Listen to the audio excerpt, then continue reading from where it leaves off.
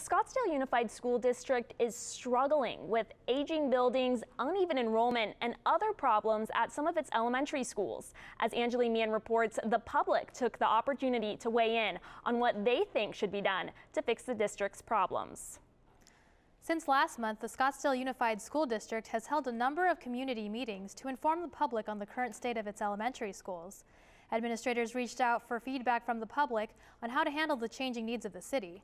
Possible elementary school master plan options are to rebuild schools to accommodate enrollment, combine schools, or to do nothing.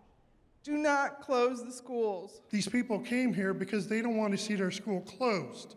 After listening to a presentation by the Scottsdale Unified School District, community members voiced their opinions.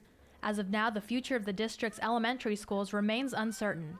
The governing board has made no formal decision yet, but the possibility of any elementary school changes has some community members concerned. So if they were to close my school, I would be very upset. In a series of community meetings, the district listed possible plans they would have to develop to keep up with the changing needs of its elementary schools, including rebuilding schools to fit enrollment and upgrade its aging facilities, combining schools, or keeping schools as they are.